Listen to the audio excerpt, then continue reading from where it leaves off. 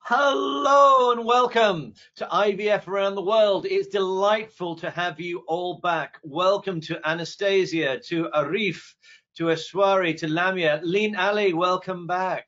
Uh, Mohammed Arif, lovely to see you. Nicola, Nora, Turia, and Zainab, to name just but a few. It is absolutely fantastic to have you here. And as always, we have a wonderful program uh, ahead of us.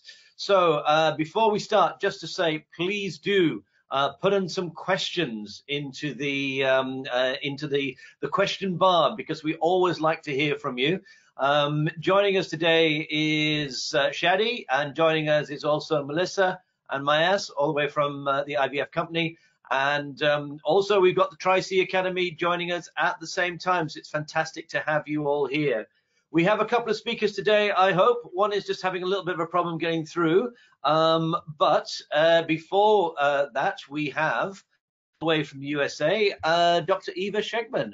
So Eva um, has uh, got an MS and a PhD, um, and she's been an embryologist since 1992. That's the year that I completed my PhD. Would you uh, would you believe? She did her undergraduate in animal science at Cornell University where she also trained with uh, Robert Foote, who was an early pioneer whose research led to IVF in agricultural livestock and in animal cloning.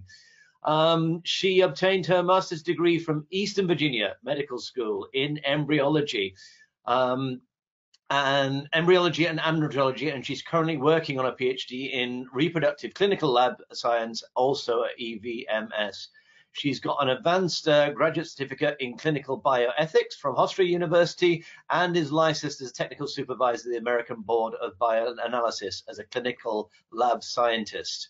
She's affiliated with Mellowood uh, Medical as the business and scientific consultant um, and for their world, uh, and that's a world uh, premier provider for fertility, ooh, ah, for fertility clinic management software. Crikey, that took some saying.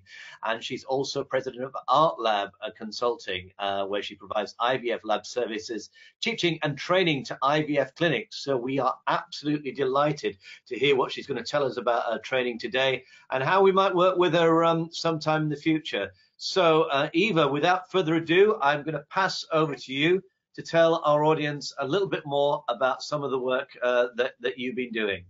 Okay, thank you. Thank you, everyone. And thank you to Professor Griffin. We've not yet had the the opportunity to meet in person, so very happy to to meet all of you here today.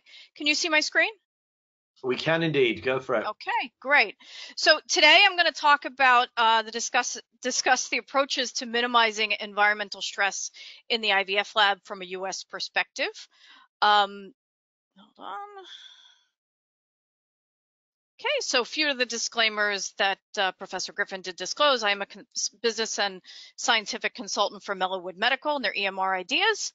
Uh, I am the president of Art Lab Consulting, so I do provide embryology services and teaching and training uh, to clinics around the world. And I am currently a PhD candidate at EVMS in the US, which is the home of the first US IVF baby in 1981 uh, and my research area focuses on the effect of environmental stress on senescence biomarkers in pre-implantation stage embryos. So first, uh, Melissa, if you could take it away, we're going to do a quick poll.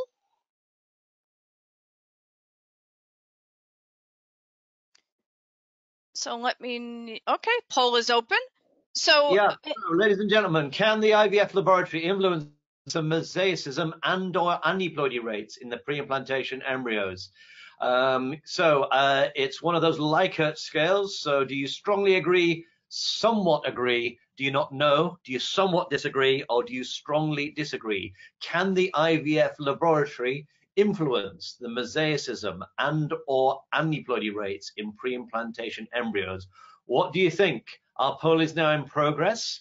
Um, and I can say that, well, we're pretty much leaning towards one particular area. I won't tell you what it is yet, uh, but we've got 42% of you have voted already. Um, and I know that we've got about 50 attendees today. So I'm going to close the poll in 10, 9, 8, 7, 6, 5, 4, 3, 2, 1. Close the poll if you would, Melissa. And I can tell you, um, Eva, that 50% somewhat agree. Um, we have 21% with strongly agree and don't know each, and only 8% somewhat disagree. So um, back to you.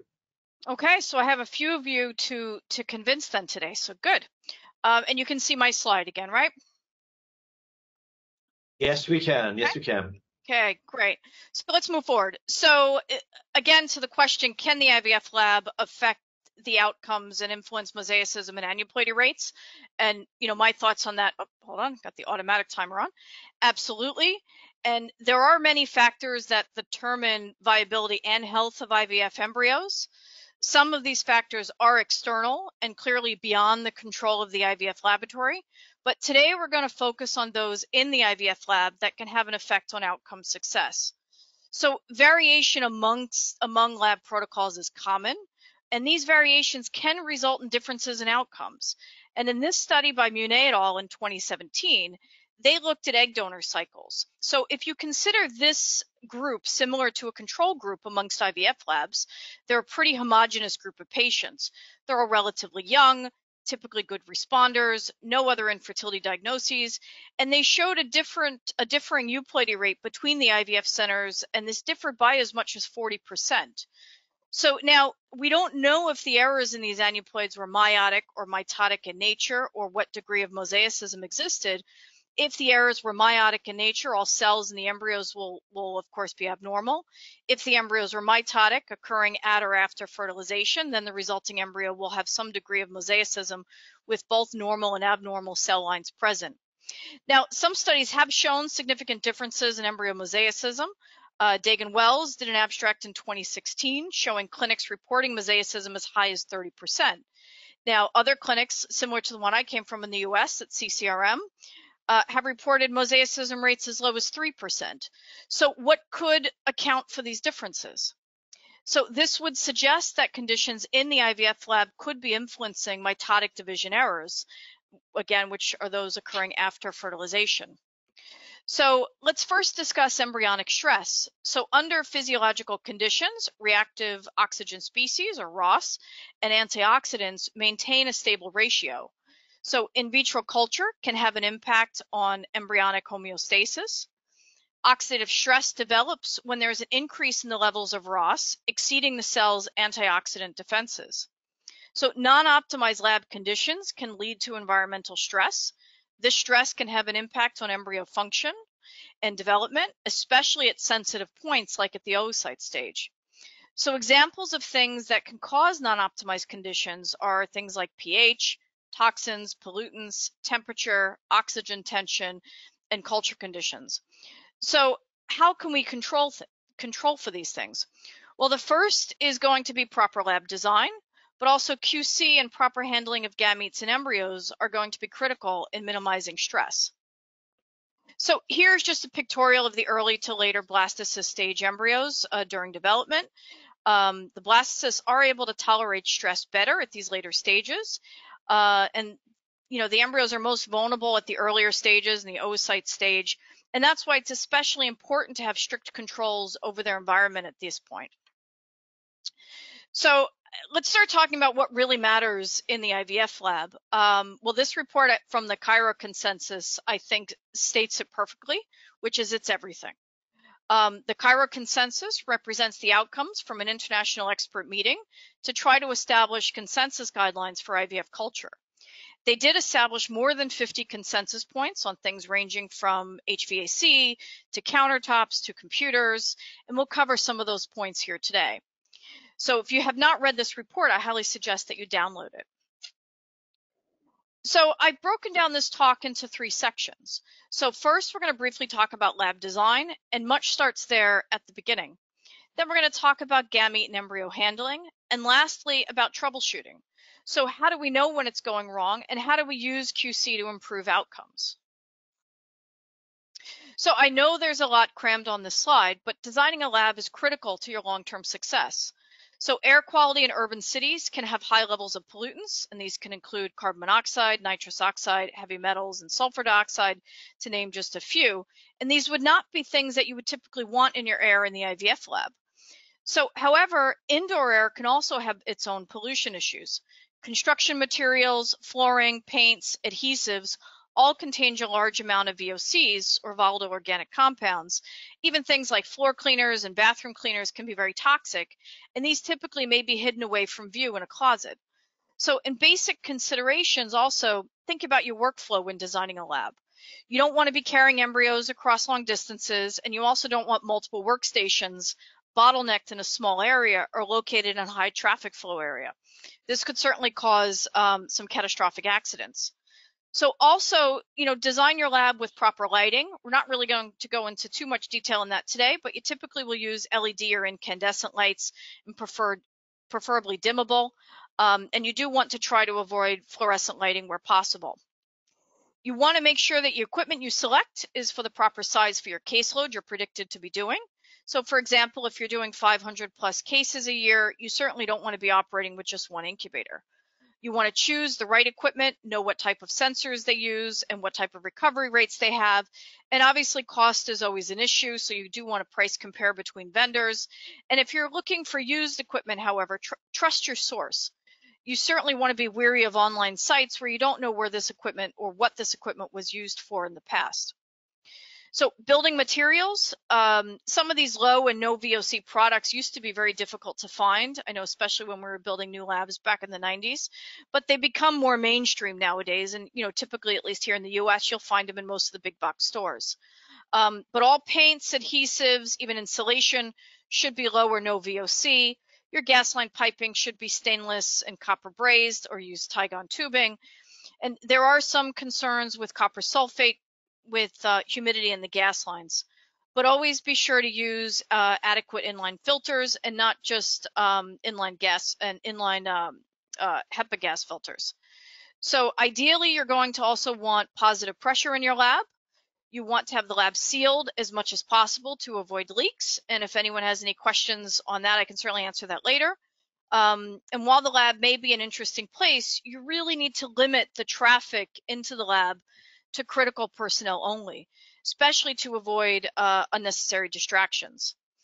Uh, an H, a dedicated HVAC system, I think, is crucial, and preferably, um, I typically recommend systems like LifeAir or Zandair that will have multiple layers of filtration, and they're going to include filters such as our activated, activated carbon, photocatalytic ox oxidation, and potassium permanganate filters. So you also want to make sure the lab has the ability to regulate the temperature and the humidity. And you do want to try to keep the humidity levels between 40 and 60%, and this should help um, minimize any fungal growth. All right, so here's just a few, an example of a few features um, that I like to include in, in lab design. First is a positive pressure monitor. Second is a uh, continuous VOC monitoring device. Um, I use the the WolfSense. Um, and the third is actually a rendering of one of the HVAC systems. This one is the LifeAir system. Uh, these can be either ceiling or roof mounted, and this one is available outside of the US. All right, so talking a little bit about air quality, uh, you always need to be vigilant about the air in your lab. What you can't see or control can definitely hurt you if you haven't taken proper precautions. So things such as rooftop resurfacing, road resurfacing, construction, renovation, idling en engines, to name a few of the things that you need to be concerned with. Even seasonal pollution can be an issue. So if you live in certain areas prone to wildfires, this can cause extremely poor air quality as well. So when you measure VOCs, you always want to be measuring, just keep in mind, in parts per billion.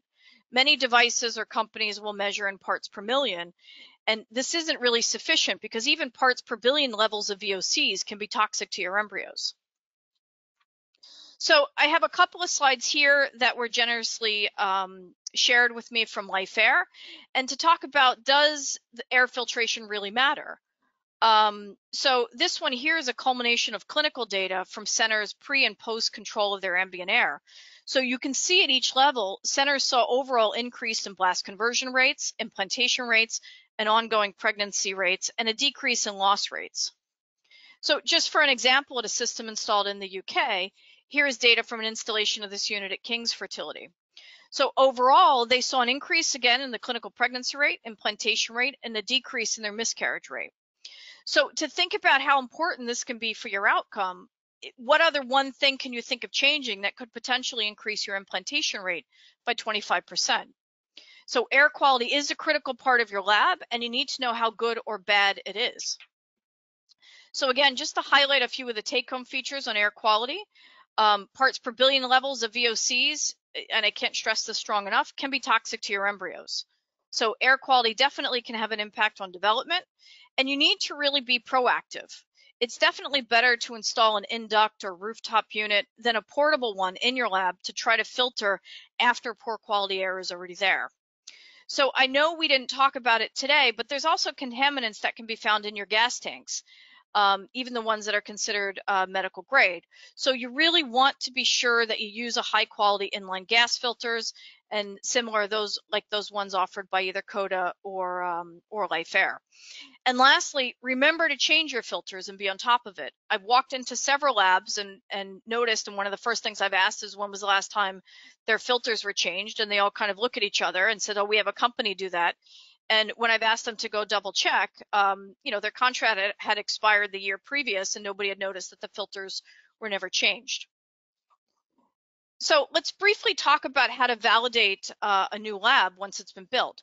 So one of the other strong things I recommend is don't rely on the contractors. So I've had times when they've said they've used certain approved products and they didn't. Uh, the entire process should really be supervised by the lab staff. So that means being on site during construction or even performing spot checks. So you'll want to make sure the inside of the ductwork is wiped clean before installation.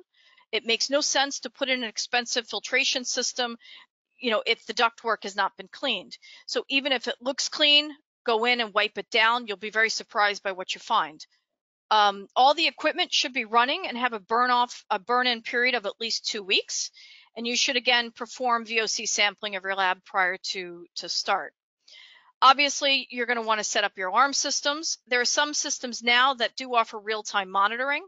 Um, I typically use the one from from uh, SafePoint Scientific, and those you can check remotely even on a mobile device. So it doesn't just alarm when they're out of range. You can monitor everything from your refrigerators to freezers, cryo tanks, and incubators with real-time access. So, and lastly, make sure you perform a one cell mouse embryo assays on all of your incubators before starting. So just a few tips on what you can do if you can't build a new lab. So if you have laminate cabinetry, these do emit VOCs. So hopefully you can remove them and install some stainless workbenches. Use low or no VOC products in any renovations around the clinic.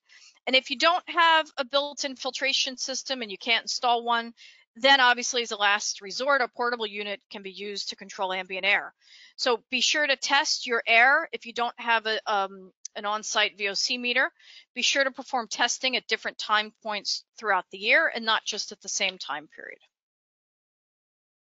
All right, so now let's move on to talk about proper handling of gametes and uh, embryos. I do have to thank uh, Jason Swain. I did work for him for uh, for a bunch of years, and ran his lab in uh, New York City until um, until just a few years ago. So I learned a tremendous amount about optimizing the lab culture environment from him. And if you haven't read any of his papers, uh, I suggest you please look them up. They're definitely worth worth the read. So I think most embryologists do recognize that they should measure the pH of their culture media. I think many labs find it difficult to accurately and with confidence find the best way to test pH. Most labs do measure CO2 concentration daily in their incubators, but not pH. And you know, typically you'll measure that monthly or perhaps when you have a new lot number of media. A stable CO2 concentration should lead to a stable pH environment, but you do need to test your pH to trust this for sure. So in the US, I would typically use a device similar to the iStat here on your left for pH uh, testing. It's actually a blood gas analyzer. It's used at the patient bedside in the hospital. And, you know, we've modified its use for pH testing. So if you don't have this device available, I suggest one, one similar. They're very, very accurate. Um, you're also going to want to use a um, an accurate temperature monitor. uh, like a thermocouple. There are some clinics now using even infrared thermometers with, with great success. Just be wary of the old style uh, mercury or alcohol thermometers. They're not that um, that precise, and also you really want to make sure you check them for any breaks in the liquid column. I've seen labs, um, like I said, currently testing with the the infrared devices and having um, tremendous amount of success. So let's review a bit about pH. Um, I know we could certainly spend an entire talk on, on pH alone, but we're just going to go into a little bit of a background here. Um, so embryos do have a mechanism to regulate pHI, but this process does take energy, and this could impact resources for the embryo, as the embryo must use more resources to maintain proper pHI. So external pH or PHE should range from between 7.15 and 7.35, and PHE can have an effect on sperm binding, motility, oocyte maturation, or embryo development. Since pH can, affect, can impact the stability and function of the meiotic spindle, this could affect proper segregation of chromosome alignment. So it is crucial to avoid pH fluctuations during sensitive periods. Later stage blastocysts are better able to modulate their PHI due to tighter cell junctions. And when you strip the oocytes or, you know, even when you've just warmed or thawed embryos, it can take several hours for that embryo to be able to modulate their PHI again. So improper PHI can also affect embryo metabolism and sperm function. So just moving on, let's talk a little bit about temperature. So temperature can also have a major impact on gamete and embryo function and affect the meiotic spindle stability. So, but not all dips below 37 degrees are necessarily harmful. So remember, what's the first step in vitrifying? Well, we take the embryos right out of the incubator and typically place them in room temperature solutions. So now, in general, there is a range to overall body temperature from 36.6 to about 37.3, but what should the gametes and embryos be at? Most labs will typically use 36, but it is believed that the female reproductive tract maintains a lower temperature. So some past studies have shown a possible temperature gradient in the fallopian tube, and some have shown that the temperature in the follicles is lower as well. So perhaps a future incubator will adjust temperature over time based on the stage of the embryo. So that could certainly be an interesting possibility. So I did want to show you uh, this study by Hong et al they looked at differing outcomes when culturing at 36 Celsius, so 37. And as you can see, they saw a higher blastulation rate with 37 and a higher rate of usable blast, as well as a higher implantation rate with 37. But I do think the jury is still out if there is some optimal temperature gradient throughout the stages of gamete and embryo development.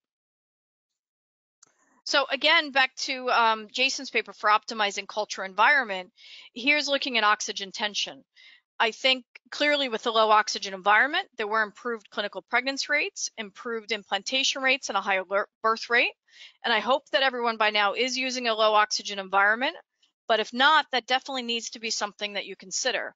So there are many studies showing the benefits of low oxygen. There are a few that were showing, there are few that have shown no difference, but those studies may have other variables at play as well. But you know, there are really no studies out there that have shown a benefit to high oxygen culture. So animal papers going back decades have shown improved outcomes with a low oxygen environment. And studies over the over the years have also shown varying oxygen levels in the female reproductive tract between 2 and 8%. So again, perhaps the optimal level has not yet been identified. So how we prepare dishes and handle gametes um, is also very important. So do you make your dishes in a heated hood? This could possibly lead to some evaporation or if the air is on, how many dishes do you make with the air on before you add the oil? Um, I typically don't do any more than two because these can all affect the quality of the culture dish that you're going to be making. So for culture dishes with 50 microliters of media under oil, just keep in mind that regassing takes about 20 times longer than degassing. So even with oil, the pH will be over 7.4 in less than two minutes. So even if you use a gas funnel, this will only slightly extend this time period, and you should use that only as a crutch and should never be replaced um, replaced being in um, being in an incubator. So also keep in mind that culture media can evaporate even under oil, so the osmolality will rise over time. So if possible, I do suggest a humidified environment. That's not possible, consider refreshing of the culture media potentially every 48 hours. So now on to a little bit of troubleshooting. Um, how do you know when you have an issue? What processes should you be monitoring? Ideally, when you, you should monitor as many processes as possible, which will term your laboratory performance indicators. Um, but as you know, if we if we monitored every process that we do in the lab, we could typically have a few hundred um, LPIs, but you want to to have the core, the important ones uh, that you look at at least monthly. Uh, so also, what do you want to use as your outcome indicators? Do you use just initial beta? Um, do you use implantation rate by SAC or by heart rate, or do you, you know, go by live birth rate? You know, obviously you want it, you wouldn't want to just go by live birth rate. It would take you, you know, a very long period of time to get your data, but you also don't want to just use initial beta. You know, you would definitely miss if there, you know, was um, a period of time where there was an increase in the miscarriage rate. So you want to be able to monitor your critical processes. I think at least half a dozen, if not more, called your key performance indicators. Um, if you don't have this book by Sharon and David Mortimer, I do suggest that you add it to your library. I've certainly used it as my Bible and QC on many occasions. And now we're going to talk a little bit about the Vienna Consensus Report. So hopefully all of you have, have heard about that. And the Vienna Consensus was a meeting also by a group of experts to put together consensus on the LPIs, the laboratory performance indicators, and the key performance indicators that should be incorporated into your program. So again, another paper I highly consider you download if you've not if you've not yet read it. So this is uh, one of the tables from the Vienna Consensus Report, and you know I think very important to um, consider incorporating into your best practice quality system in your lab you know, one thing I want to point out is um, to understand the differences between the competency values and the benchmark value. And you never really want to set them um, too low or, you know, too high, depending on what your value you're talking about, where you always meet them. Um, you know, you, you, as you can see for here, for example, for the ICSI damage rate, for competency, it's set at 10%. Um, but benchmark is target or target is at 5%. So you want to be sure you don't set your benchmark too low in this case where it's easily attainable all the time. So for example, for competency, it may be okay to be considered competent if you have an 8% ICSI damage rate, but I certainly hope you don't consider that your benchmark. Um, as you know, losing almost one in 20 in 10 eggs would not be would not be considered um, a good result. So one thing I do want to touch on briefly is how you get your data for your LPIs and your KPIs. So I would hope that you do have a dynamic EMR that can generate these reports automatically. Uh, this is a sample from the EMR that I use at Ideas, but whichever EMR that you have, you should have the ability to run these reports for you. What you uh, don't want to have to resort to is an Excel spreadsheet where you have to retroactively enter data and potentially worry about data entry errors and long delays in getting it entered. So with those long delays in data entry, you may not realize you have an issue until many weeks or later or even longer. So the quicker you know you have a problem, the quicker you can investigate and correct it. So, and one of the things I'm going to touch on briefly, and I'm going to show you a short um, a short video, is uh, speaking of quick reports. A new area that we're working on developing is that that we call real-time analytics. So similar to your standard reports, but standard reports still require that you actually run them. So in real-time analytics, this is an example again from, from ideas in the system that we've termed SMARTS, but hopefully your EMR uses a, a similar tool. And this data is available live on a dashboard. So it doesn't need for you to run a report. You can color code the parameters and have visual cues when your values are out of range. So for example, in this rendering, my cleavage rate is only 82.2%. I've got that uh, coded as red, so certainly something I need to to keep an eye on. But also, um, you know, that I would hopefully notice without having to have this dashboard. But something a bit more subtle is your ICSI 1PN rate of 3.9%. And this is certainly a marvelous tool for those lab directors that may not be on site. And I'm going to show you in a second how you can render this on your mobile device as well. So let me just uh, switch my screens for a second. I'm going to log in live to, to my dashboard system. Okay. All right. So can you guys see my new, my screen here? Okay. So unless somebody yes, tells me, okay. Perfect. So this is actually data that's running live from, from my test system, and I'm going to show you how it renders on my mobile device in a second. But this is something that you can have sitting on your dashboard of your computer. So ideally as well, as I said before, if you're an offsite lab director. So this data will run live from the data that you've entered in the EMR. So you can filter it. You know, I have multiple years selected, but if I wanted to do the current year, um, you know, or let's just say I wanted to go back and look at 2018, you know, this data will update automatically. And just looking through the different views of this report that we can see, it, it automatically graphs and shows the um, the bar charts of your fertilization rate. And all of this information can be, you know, sliced and diced in a variety of ways. You can see your fertilization rate based on what your benchmark level is, as well as your upper and lower um, limits, as well as your competency levels. And, you know, really, you know, obviously here, you know, very easily, if I'm using um, a real-time analytics dashboard, I see that all of a sudden in April, my fertilization rate has dropped to 71%. Now, if I was using, you know, an Excel spreadsheet where typically somebody's got to, after the cycles are complete, go and enter data, it might be to sometime in May that I find out that I had an issue in April. And by that time, my rates, whatever's happened, seems to have, have gone away, and my rates have already seemed to recover. So just one thing to to think about. And the last thing, a couple things I want to show you here too, just looking at you know the ability to be able to look at your blast development. So again, here this is test data to just kind of prove my point. But again, all of a sudden I've seen a huge drop um, you know, in my blast conversion rate, but using a real-time analytics software, I can keep quickly an eye on that. So, you know, I can investigate this and address this, and hopefully it doesn't take me a month to bring that number back up.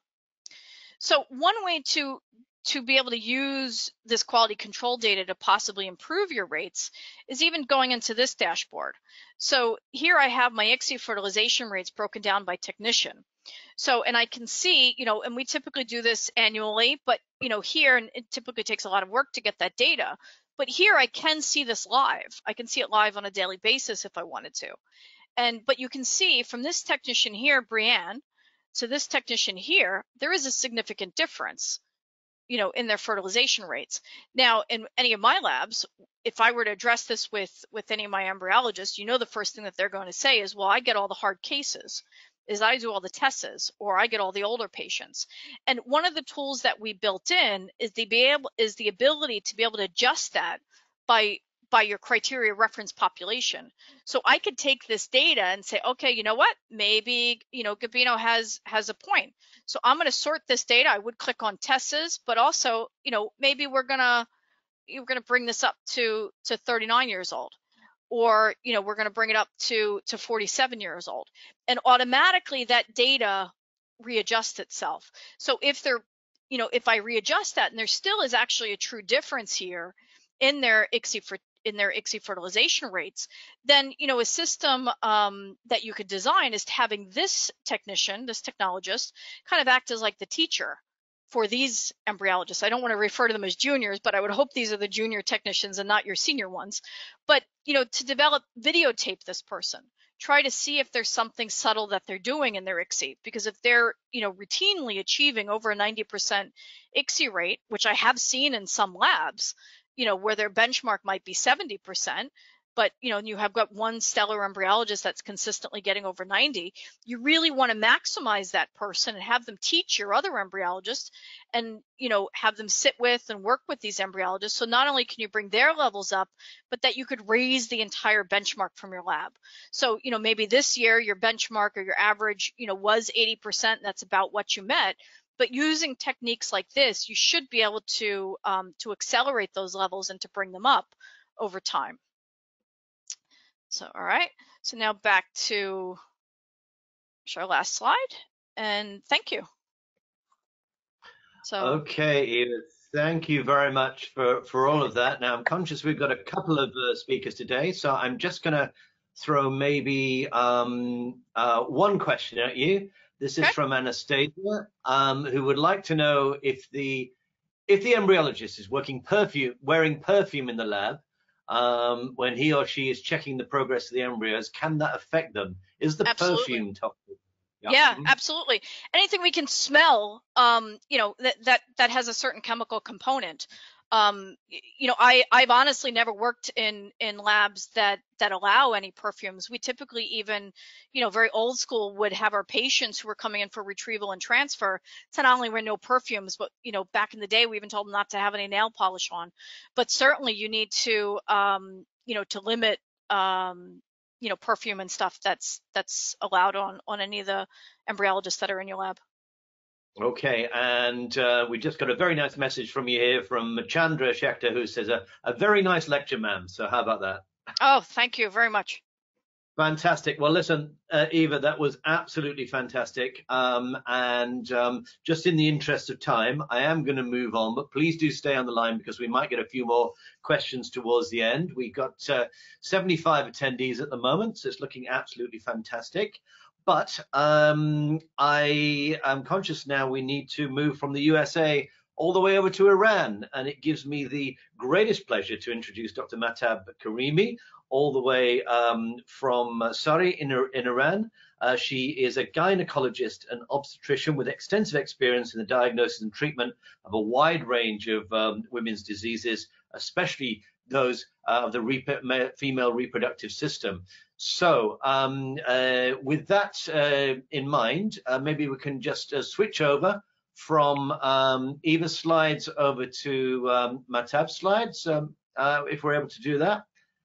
And I can see Mahtab there. Thank you for uh, for joining us. And if we can just switch over to her slides, I'll ask you to just go straight away. Mahtab, all the way over to you. No, Mahtab, we can't hear you. You might just need to unmute yourself. Okay. Is it now okay? we can hear you. Um, and if we can just see your slides, that'd be good. Okay. Yes, yes. Hello, hello everyone, and thank you everyone. Um, thank you, Professor Darren Griffin, that let me um, have this um, webinar speaking. And um, my um, topic is about um, infertility surgery before embryo transfer. And um, okay, excuse me. Uh, can you see my slide? Uh, yes, we can now. Yes, but you've got the conclusion Okay. slide up at the moment, so just go to the front Yes, there. yes. Uh, mm, surgical infertility treatment overview. I want to speak about it. It's um, um, a large um, um, document about uh, infertility. We have a lot, a lot of documents about surgical infertility treatment, but fertility surgery involves an operating procedures for men or women to correct a structural issue causing infertility, as you know, uh, which may be due to a condition. Some causes of infertility in women that can be corrected by surgery include uh, endometriosis, fibroids, polyps, and other problems in the reproductive organs. For men, uh, you know, fertility surgery can treat varicocele or reserve a vasectomy. But uh, I will speak about uh, women's um, uh, surgical infertility treatment in this and hysteroscopy or laparoscopy are the two most common surgical approaches for female infertility surgery. Mm, fibroids, polyps, and uterine adhesions, uterine anomaly disorders are um, the most important problems in infertility. And um, you can see in this picture, uh, for example, here adhesions, in the endometrioma. In this picture, you see the fibroma in all parts of the uterus uh, cavity and uterine wall. This is the tubes, as you know, and this is the ovaries. This is the uterine cavity. This is the adhesions that in uh, it's in the uterine cavity. This is polyps pictures that may involve all the um, part of the uterus. For example, in um, fundal part or anterior, posterior, and lateral uh, part of the uterine wall, we can see the polyps, or even in the ostium or cervical opening, we see polyps sometimes. And in this picture, we have uh, adhesion and Asherman syndrome in this uh, uterine, and this is hysterosalpingography picture as you see. For some fertility cases, reproductive surgery is um, required for patients to achieve their optimal fertility success. At IVF clinics, our goal is to provide you with the least invasive procedure possible. Technological advan advancements enable our physicians to perform delicate special surgery in a minimal invasive manner with most procedure lasting less than an hour. As you know, um, minimal invasive manner is better than, um, for example, laparotomy for myomectomy, laparotomy for uh, endometriosis. Endometriosis, ovarian cyst, pelvic and intrauterine adhesions, uterine fibroids, endometrial polyps, fallopian tube disease, and obstruction or hydrosalpinx, congenital anomalies of the pelvic organs such as uterine or vaginal septum. Fibroids are the most uh, common uh, disease in the uterus. Leiomyomas or myomas is the other are the other names and are begin and non-cancerous tumors made of smooth muscles that usually grow in the uh, uterine walls. Fibroids may cause heavy menstrual flow and severe cramping, pelvic pressure, and bladder or uh, even bowel problems, depending on their location, size, and growth rate. Fibroids can also interfere with conception and pregnancy. This is the picture as you show you see before. Pelvic examination uh, is the most uh, common way to diagnose the uh, size of the uterus, uh, uterine and um, size of the fibroma, place, um, and um, the how large is the fibroma. We can uh, pelvic examination. If the fibroid tumor or tumors are very large, they may be felt on pelvic examination. Sometimes even the patient um, uh, tell us that my abdomen is um, larger than before, or my abdomen, um, I, I feel a thing in my abdominal cavity or a pressure in my, when I want, um, when I want uh, to uh, have urination and uh, maybe in um, bowel obstruction, for example, constipation, the patients they ask about uh, the pressure of the uterine in the abdominal cavity. Routine, pel routine pelvic ultrasound. This is a transvaginal ultrasound that we use to view the lining uh, of the uterus. It is usually the best way to see a fibroid. For the ultrasound doctor, insert a slim probe in the uh, it is uh, named the transducer and into the vagina in order to evaluate the potential effect on the uterine cavity the ultrasound should be performed shortly before ovulation when the endometrial lining is at its thickest. Mm, in this picture, you see uh, intracavity uh, fibroma that is called um, submucosal fibroma. That it may interfere with embryo transfer. When we want to transfer the embryo with the catheter, for example, with Cook catheter in this tummy positioning, uh, after uh, inserting the speculum, uh, we want to insert the catheter from here.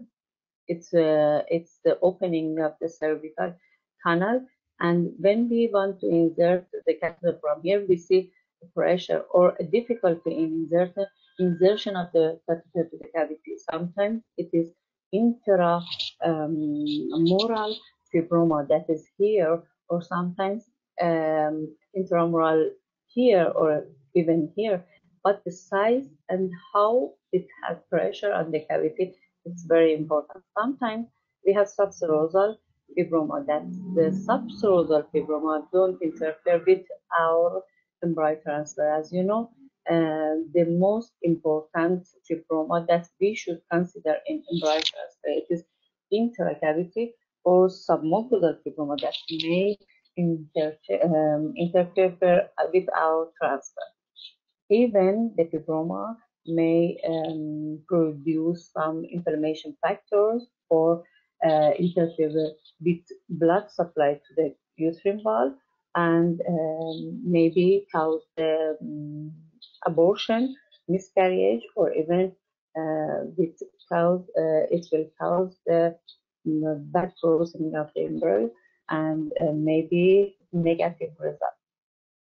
Uh, is another way to consider or see the cavity of the um, uterine and um, we see submucosal trauma in this um, procedure hysterosonogram ultrasound. It's made um, with vaginal ultrasound we see when inject sterile saline into the cavity and the saline serves to the enlarge the uterus and also make it easier to the measure and size of the fibro and even the place of the fibro in the uterine cavity. Um, it is best used to visualize submucosal fibroma, those within the uterine cavity. Hysteroscopy is another way and is a minor surgical procedure that involves placing a lighted telescopic instrument into the cavity from a uterine cervix and visualize uh, any abnormalities within the wall of the uterine cavity or fibroid is seen in the cavity. And in this procedure, surgical hysteroscopy, we can even um, resect the fibroma, submucosal fibroma from the cavity. And it's um, a procedure, diagnostic and surgical procedure MRI is another procedure um, that we can uh, see in MRI the size of the uterine cavity, the place, the exact place of the fibroid in the cavity, or the sometimes pressure of the fibro or any other mass, uh, for example, adnexal mass into the cavity we can see in MRI. Treating fibroids, there are a lot of uh, treating fibroids uh, way to treat is sometimes surgical, sometimes medical. In a surgical procedure called myomectomy, the fibroid can be removed, preserving the uterus and ovaries so that conception can occur. There are various methods, and uh, to perform myomectomy depend on the location, size, and number of the fibroid. Sometimes the um, uh, the patient is selected, and one patient to another patient it um, may um, differ, uh. Myomectomy with laparoscopy, myomectomy with laparoscopy, myomectomy with hysteroscopy. There are a lot of ways, but you know, laparotomy is um, a surgery and um, uh, it's not minimally invasive procedure and involving uh, a large incision through the abdominal wall. This abdominal myomectomy is the best approach for large and multiple fibroids within the muscle wall of the uterus. The surgical procedure, procedure can be performed by most gynecologist surgeons, of course, as uh, this is a major abdominal surgery and um, it's not um, uh, in minimal invasive surgery for, for example, laparoscopy. Myomectomy with hysteroscope is um, hysteroscopic resection of um, fibroma in the uterine cavity. It, it is uh, submucosal fibroma. And uh, as you know, the thin lighted telescope we insert from the vagina and um, cervical opening. The hysteroscope is fitted with a specific surgical instrument and enabling the physician to view and remove the fibroid. This surgery must be done by gynecologist with adequate training in hysteroscopy like IVF specialist, infertility specialist, surgeon. As no incisions are involved, um, it is usually performed as a day surgery with no overnight hospital stay. Myomectomy with laparoscopy means laparoscopy is myomectomy. This procedure uses a laparoscope and one or more small incision in the abdominal and with trocar. With laparoscopy trocar, we uh, go to um, abdominal cavity and it is a minimally invasive procedure and it needs to special training by a gynecologic surgeon and in recent years laparoscopic surgeons are also starting to use robotic assist surgery and this has been especially helpful for myomectomy and uterine artery embolization, as you heard before, is related with procedure promise, but because long-term effects are still being studied, it is not yet recommended for women who want to preserve their fertility. For example, virgin woman or a woman who um, a pregnancy after uh, treatment, uh, we don't recommend uterine embolization. And uh, in this embolization, as you know, procedure, blood, with blood supply by injecting the small particles into the arteries and uh, arteries that supply the fibroid um, blood. And um, because uh, it has a lot of adverse um, and, uh, for example, adhesions, or even in pregnancy, rupture the uterus, or um, uh, placenta accreta is the adverse. Endometrial polyp um, is a small, benign overgrowth of the normal tissue lining the uterus, the endometrial, and many women have polyps but may have no symptoms and never know they have it, even um, polyps. And they are very common in women in their 30 and 40 and can probably cause infertility. Uh, anything that interferes with uh, uterine cavity blood supply or occupying lesion in the uterine cavity will be resected before embryo transfer. As you know, uh, to diagnose polyps, routine vaginal ultrasound performed just prior to ovulation is usually sufficient to diagnose polyps. If unclear, a hysterosonogram or hysteroscopy, um, we can see and endometrial polyps are often missed on hysterosalpingogram because the radiopaque blocks the visualization.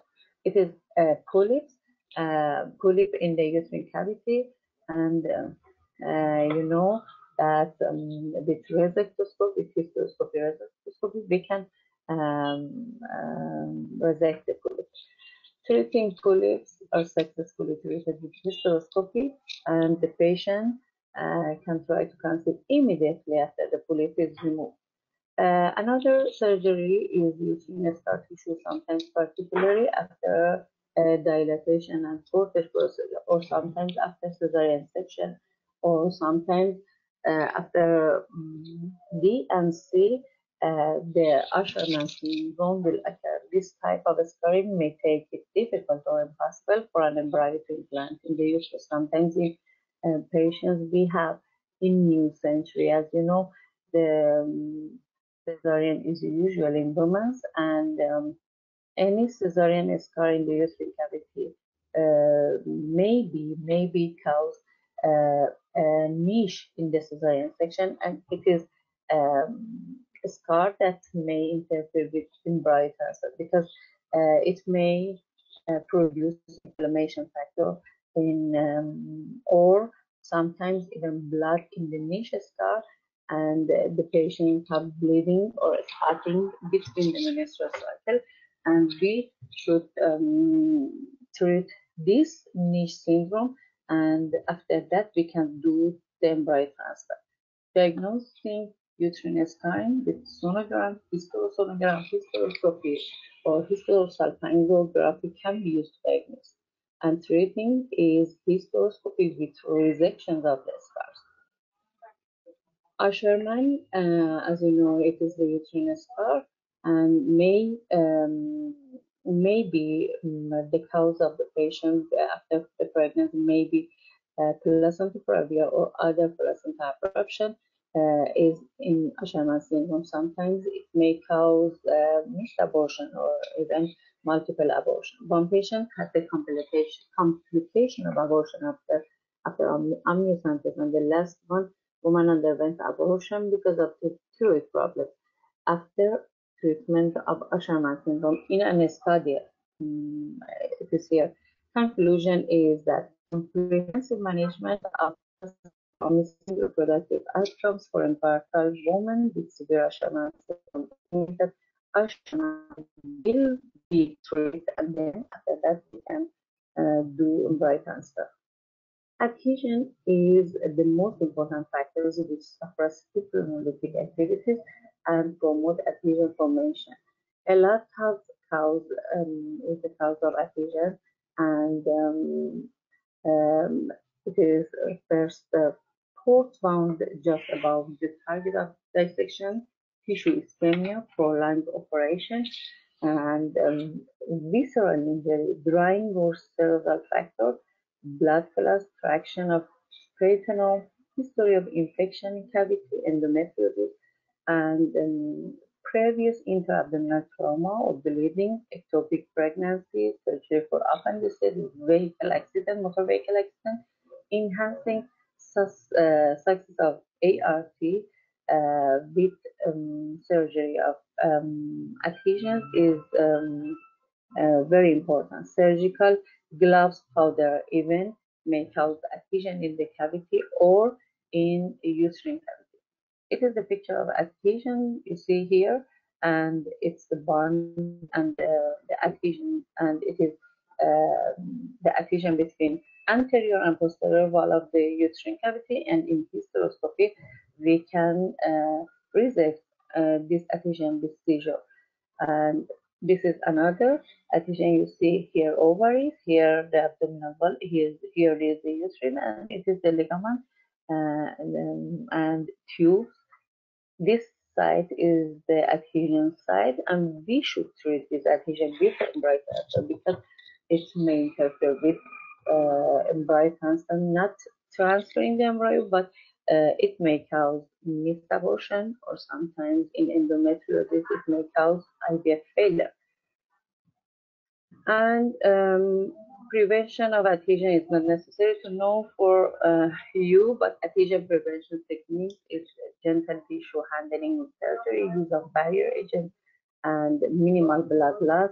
Uh, or uh, when we want to do surgery, we can use um, uh, gloves without powder and uh, antibiotic barrier, antihistamine hormones, and a lot of medication that we use in surgery for preventing adhesion. For example, when, do, when we do myomectomy, abdominal myomectomy, we should consider adhesion when a patient wants to have embryo transfer after myomectomy or the patient wants to uh, even have pregnancy after that. We should um, do the best way for surgery. Sometimes the method of surgery of a, of a surgeon is very important. The, surgeon uh, um, is cautious about the uh, surgery and adhesion prevention techniques is required to uh, do for the women who want to have baby or pregnancy after the myomectomy or any other laparotomy.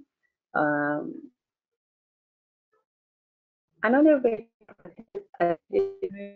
is um, laparoscopic procedure. In laparoscopy, uh, is essential to restore normal tubo-ovarian anatomical relationship. In uh, this procedure, we uh, leave the adhesion with um, resection by seizure in laparoscopy, or sometimes we uh, do surgery to uh, form the tubo-ovarian anatomical places or relationships, sometimes in endometriosis or um, uh, ovarian cyst or in melanoma or any other, for example, ectopic pregnancy or um, um, um, tubo-ovarian abscess, we see a lot of adhesions or sometimes we see frozen pelvis that um, the, the uh, surgeon should notice uh, to this procedure and in surgery uh, we should um, have um, enough um, enough uh, experiment to do the surgery to do the best way for surgery because the patient after the surgery wants to be pregnant. And these adhesions sometimes require use of energy unipolar bipolar ultrasonic. For example harmonic surgery and after achieving hemostasis, sharp dissection seizures are necessary. After adhesion some fluid can be left inside the, in the cavity, in the abdominal cavity to prevent recurrence or high molecular weight dextran try to prevent readhesion. And the fertility results after adhesion are better with the state of the adhesion. And another um, situation. Some we sometimes we see in uh, patients uterine congenital anomalies. In rare cases, women may be born with a uterus that has a vertical septum and septate uterus, or sometimes in patients who have um, multiple pregnancy loss or multiple abortion or something more than three abortion, we see uh, septate uterus, or even a duplication of the uterus. it means uterine didelphys. Depending on the severity, surgery may be recommended. Diagnostic is um, um, the procedure for diagnosis congenital anomalies is ultrasound, hysterosonogram, hysteroscopy, hysterosalpingography sometimes can be used to diagnose any of these types of uterine anatomic disorder. Treating is hysteroscopy with resection of septum, or sometimes in didelphys, um, uh, we see in laparoscopy for a uterine duplication surgery is not usually required, but avoidance of twins is very important because of the much greater risk of preterm labor or preterm delivery. Sometimes we see um, multiple uh, pregnancy or twin or triple in um, didelphys and we should consider um, to um, reduce one of the um, embryos and in nine or eight weeks of pregnancy because of the risk of preterm labor. Uh, in this picture, you see normal cavity uterine cavity. This is the didelphys uh, uterus. This is the arcuate, and um, you know uh, that arcuate uterus um, can interfere with embryo transfer, unicorn, and bicornuate you see, and this is septate. But the most um, state is the septate. In septate, we do hysteroscopy and we resect the septum from here. After three months, we can um, uh, we can do embryo transfer, or even the patients who don't have um, infertility can be pregnant after three after three months. Mm, in conclusion, although the optimal treatment cannot presently be proposed, there is insufficient evidence to support strategy as a strategy of systematic surgical treatment of endometriosis another problem or surgery before IVF uh, and um, cycles and embryo transfer. As you know, patients uh, and a case is uh, um, different to another case, and the doctor should consider the um, any case different to another case. This is the hysterosalpingography and the Asherman syndrome, as in, you see this in this uh, picture. This is the occupying lesion, maybe adhesions, maybe polyps, maybe fibroids, but this is Asherman syndrome after three uh, DNC and curettage. Um, hydrosalpinx is the most uh, common seed that we see in our patients produce an adverse impact on results on. Removal of hydrosalpinx will improve IVF success. As you know, the surgeon has to distinguish between the pathological finding according to the site which is affected. Uh, and these are the site distal tube obstruction, complete or incomplete, hydrosalpinx, is isthmocornual block, complete or incomplete, any combination of the previous three categories or peritubal or periovarian adhesions may be in this. Salpingectomy is the most widely used treatment for hydrosalpinx.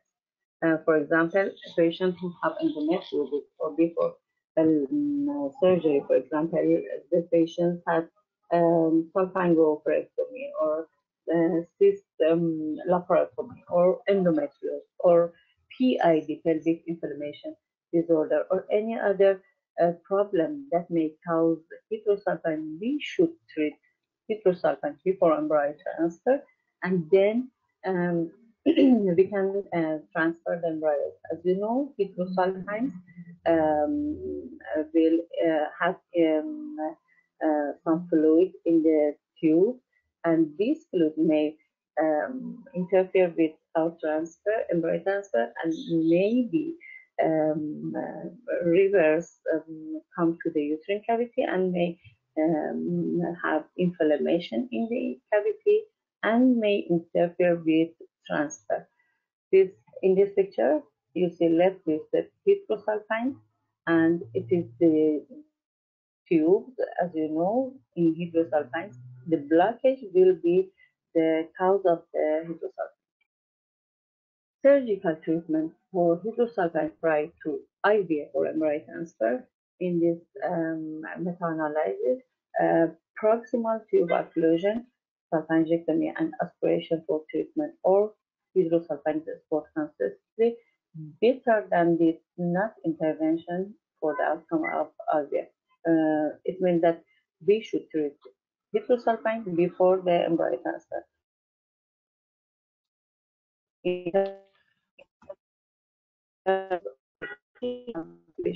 Appear to be the intervention followed by salpingectomy. And um, in this picture, it is a hysterosalpingogram that you see the uterine cavity. Here is the uterine. Here is the tubes, and here the tube. The both tubes here have uh, and when we transfer the embryo from here to the uterine cavity, this fluid is in the hydrosalpinx and can come back to the cavity. It may interfere, and it, it is the most common cause in endometrioma and may interfere with uh, pregnancy or IVF failure. Thank you, thank you um, for listening, and thank you, uh, Professor Darren Griffin, and um, all the IVF company let me to have this seminar and excuse me for uh, bad internet or network here, maybe disconnecting the voice. Or, thank you. Okay, thank you, Mahtab. That was um, uh, really enlightening. Uh, now, in the interest of time, I'll ask you one question, if that's okay. Um, yeah. And this is from uh, Dr. Um, Satyawan, uh, and yeah. they ask, is it right to do scratching of the endometrium? So endometrial scratching a yes. few days before yes. embryo transfer. Is it helpful?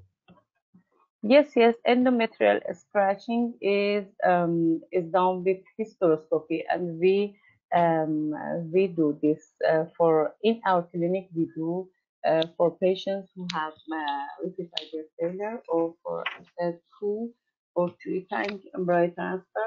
Uh, we do endometrial scratching and the fundal uh, upper uterine cavity in the luteal phase of the um, patients, and it may it may um, uh, have uh, more success rate, um, about 10% more success rate, um, and uh, it is used in our clinic in some in some um, lectures or um, uh, journals. it was it it doesn't have any successful rate, but in our clinic we do it and um, uh, it is recommend that it's we recommend that um, after two or three embryo transfer and repeat IVF failure we do uh, endometrial scratch and it may um, have a higher um, positive rate. Okay, excellent. Thank you, Mahtab. Uh, right, Thank so in the interest of time, everyone, um, that just uh, um, leads me to first of all to thank both of our speakers for some uh, very interesting talks there. And at this point, I'm going to pass over to Mayas, who's going to tell us a little bit about some of our IVF and PGT courses. So Mayas, over to you. Thank you, Professor. Uh, hi, everyone. Uh, I would like to uh, tell you about our courses that are designed and certified by the University of Kent, uh, the IVF and PGT courses, and they are brought to you all the way from UK by the IVF company and hosted by Tri-C Academy. These courses will start next week in the 22nd of March. They are basically uh, nine weeks uh, courses. Um, uh, eight weeks online and one week will be later in Dubai for the practical in our training center. If you want to find out uh, any more information about the courses, you can just download the handouts that are attached to the webinar And for any information, you can contact us directly if you need any more explanations. Thank you so much. Excellent. Thank you very much, uh, Mayas. So, listen, we are somewhat over time here. Uh, it's been fantastic. Thank you all for staying with us today because we've gone a little bit over time. Uh, it's been lovely to have you. There's been uh, 60, 70 of you uh, at some point. Uh, uh, I'm just going to see if any of my um, co-workers would like to anything else. So, Shadi, do you want to add anything else at this stage? Uh, uh, uh hello, guys. Sorry, I am in my car, so I, I, uh, I, I, I'm okay. thank you very much. It was interesting to see that even Dr. Mahtab from Iran managed to get the a barrier language and translate from Iranian to English and shared with us. So everybody was bearing that in mind. So thank you, Dr. Mahtab, and thank you, my friend Dr. Eva in New York. It was amazing. And I just want to say thank you, University of Kent and Professor Darren and the team and Dr. Giuseppe and Dr. Mayas. Thank you, guys. Uh, I'm, I'm, traveling to Abu Dhabi. Uh, thank, thank you. you. Thank you very much, uh, Shadi. And just to add that um, uh, Dr. Mahtab was uh, streaming that through Facebook at the same time and had one and a half thousand likes as a result of, uh, of her efforts today. So we're very grateful to that. Um, we're really pleased to be reaching out to the US and to Iran. And as you know, we are very much uh, an international company, very much an international university, and we would very much like you to be joining us on our spirit of adventure here, not only for our online courses, but also to come and join us in Dubai at our training center when it opens. So with that in mind, thank you, Shadi, thank you, Mayas, thank you, Melissa, of course, and thank you, just, but most importantly, thank you to our two speakers, Mahtab and to Eva for a fantastic time. Uh, and we will see you all again next week, um, where, um, or in a couple of weeks' time, when we'll be hearing from Dr. Sami Al Musawasa, um, from ARCGH from IVF from start to finish. Okay, thank you very much, everyone. Cheers. Goodbye. Thank you. Bye. Bye. Thank you. Thank you. Goodbye.